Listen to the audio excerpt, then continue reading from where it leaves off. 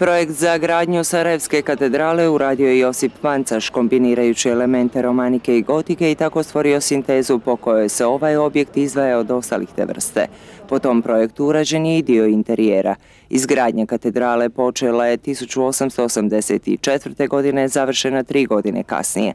Prvi vrbosanski nadbiskup Josip Štadler posvetio je 14. rujna 1889. srcu Isusovu. Tijekom vremena zbog nestručnih obnova unutarnji izgled katedrale bio je daleko od izvornog. Kanonik August, koji u Ahenu obavlja dekansku i župničku službu, uspomen na svojeg prijatelja preminulog monsinjora Marka Josipovića, kanonika stolnog kaptola Vrbosanskog, odlučio je prikupiti materijalna sredstva i animirati donatore za financiranje radova na unutarnjoj obnovi. Und ich habe ein bisschen mit dem lieben Gott gesprochen und dann dem Kardinal gesagt, ich möchte gerne die Kathedrale renovieren. Dakle, pričao je sa dragim Bogom i onda je se obratio gospodinu kardinalu i onda mu predložio da bi on htio restaurirati katedralu. So ein, so ein kleiner, einfacher Pfarrer aus Aachen tako da je ovako jedan mali svećenik iz Ahena hat beim Kardinal sicher Erstaunen ausgelöst und etwas Ungläubigkeit. Je došao do jednog kako da kažem izvednog čuđenja kardinala da je on njemu predložio takvu neku gestu.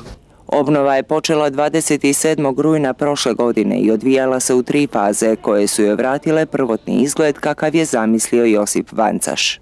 Vraćamo dakle izgled katedrale kako je bila 14. rujna 1889. godine. To je njezin izvorni izgled.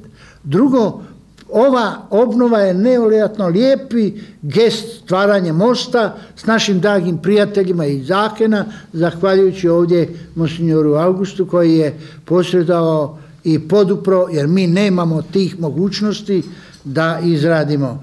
E, zahvaljujemo također ovim e, nacionalnim strukturi za čuvanje spomenika koji su nam dali e, zeleno svjetlo da to možemo raditi. Nadam se da će grad i kanton ili e, županija Sa, Sarajevo e, shvatiti, vrednovati tu katedralu pa je čuvati izvana da ne uništavaju s kiselinama brišući kamen, a također ne stvarajući pred katedralom nemila događanja koja ne priliče katedrali, ali također i da će poduprijeti da taj spomenik kulture istinski bude čuvan i vredovan u gradu Sarajevu. Prema riječima voditelja radova Ditera Filipa koji je sudjelovao u obnovi oko 100 crkava u Njemačkoj zahvaljujući starim slikama katedrale imali su viziju o njezinu približnu izgledu.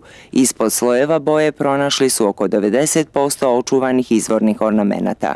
Josef Jošić, gospodin Jozo Jozić, šef der firma Color Paleta, mit seinen Mitarbeitern, tvrtke Color Paleta sa svojim suradnicima, in etwa 16.000 Stunden. I otprilike sa 16.000 radnih sati Leistungsstunden zur Wiederherstellung der alten Ausmalung. Dakle, 16.000 radnih sati za restauraciji i ponovo vraćanju izvorni oblik.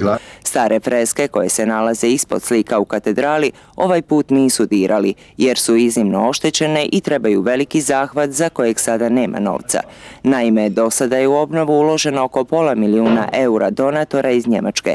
Sada slijedi i postavljanje rasvjete i restauracija orgulja, a sudeći po tomu da su domaći donatori do sada dali manje od 20.000 maraka i to će biti urađeno zahvaljujući njemačkim prijateljima.